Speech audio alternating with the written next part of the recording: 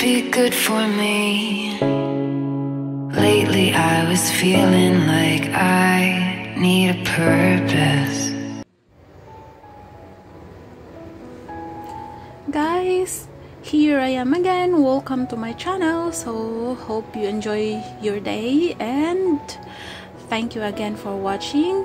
And please, to those who are new to my channel, please don't forget to leave your comment and suggestions if any then please don't forget to subscribe. And today let's cook this recipe of mine dried mushroom and the duck feet. So I think duck feet everyone knows about that. And I cut it into half because it looks so ugly kung mahaba siya and I will put garlic, ginger, and that star anise. So continue watching guys. And this is the water from the mushroom which I soaked earlier. So before starting you have to make your frying pan or wok really hot para hindi siya didikit yung uh, duck feet doon o or yung kahit ano ang i-fry mo dyan. So, be sure to make it hot and put some oil or enough oil for frying the ginger. Then, let it uh, fry for a while, then add some garlic. Ganun lang siya kasimple. And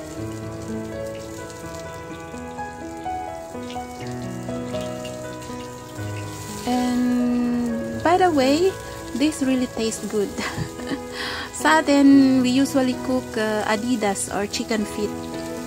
Yeah, and and I think masarap siya sa ano sa pulutan. So duck feet is dito sa Chinese is we usually fry just like this with mushroom and sometimes uh, with the parang cabbage. Yes cabbage but I haven't tried it yet.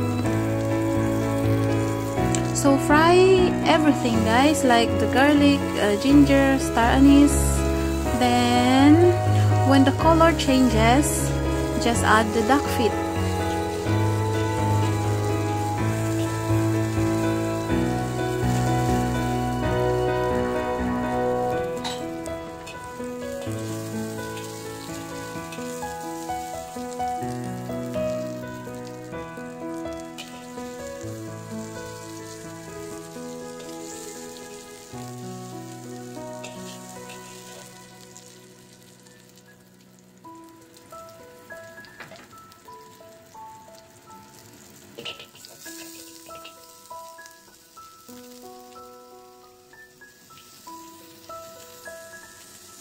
So as you can see guys, look, I just added the duck feet into the sauteed garlic, ginger and star anise. And um, continue frying until it dries then add some rice wine or red wine or it's up to you what do you prefer. But dito sa Chinese sa amin, we usually use the cooking wine or rice wine. Ito siya. Then, be sure that the fire is uh, nasa, naka-turn on siya in full.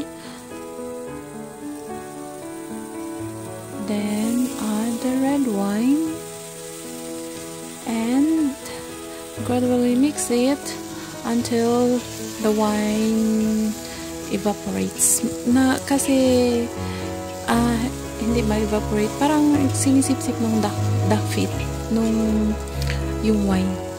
So just keep in keep it like that. Then after that, add the mushroom.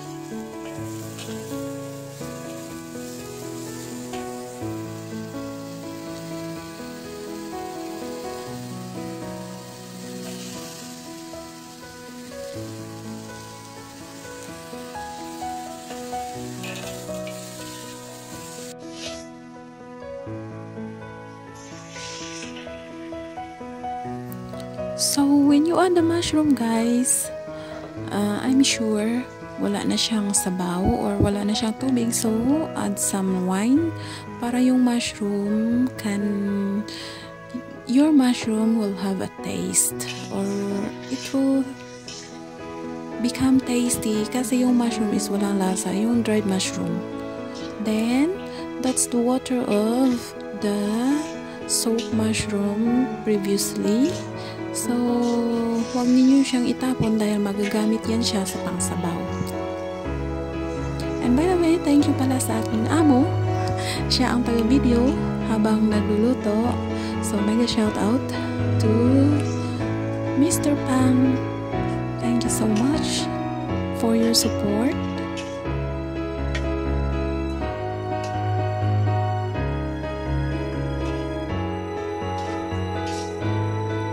Siya kadali, guys. Then, cook it for about 10 minutes. Then, check it later.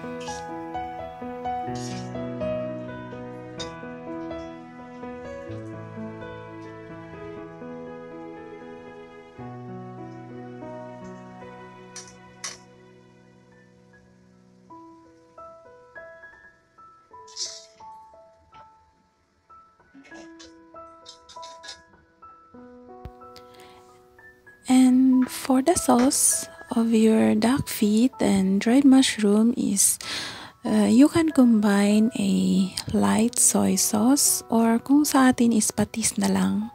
Tapos, lagyan lang ninyo ng konting sugar dahil maalat siya. So, ganyan yung technique ko dito dahil wala akong pang sauce. Or minsan, if you have an oyster sauce, you can use that one. So that's how I make it. Light soy sauce with uh, a little bit sugar, then add some hot water para ma-melt yung sugar ninyo. Then that's it. You can add it later when your duck feet is almost done.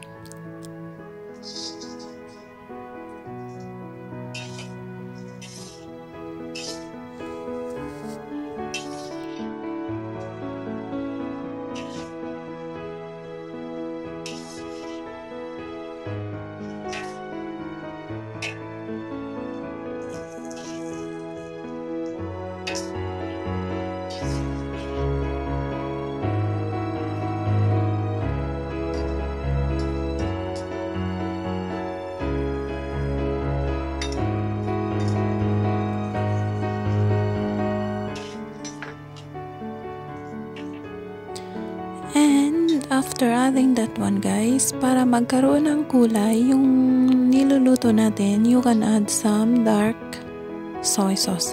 Yan siya yung dark soy sauce. Wala yan siyang lasa. Yung matabang. So, you can add uh, as much as you can or depending on how dark you want. Sa akin is uh, hindi nila gusto yung masyadong maitim kaya mga isang tablespoon lang. Hindi ako gumagamit ng tablespoon. I'm not using a tablespoon dahil nai-estimate ko naman siya on how much I can add it. So, yan siya yung duck feet. Pinutol ko para hindi siya pangit tingnan. Look. And it really tastes yummy.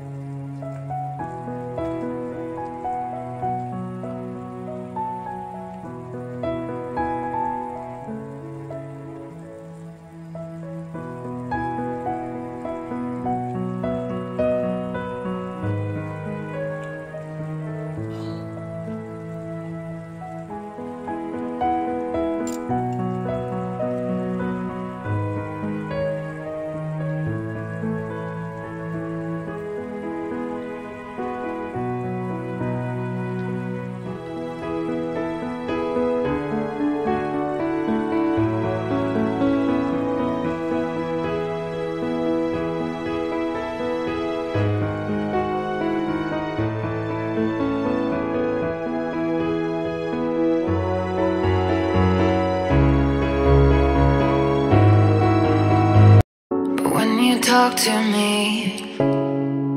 Give me the impression that I won't scratch your surface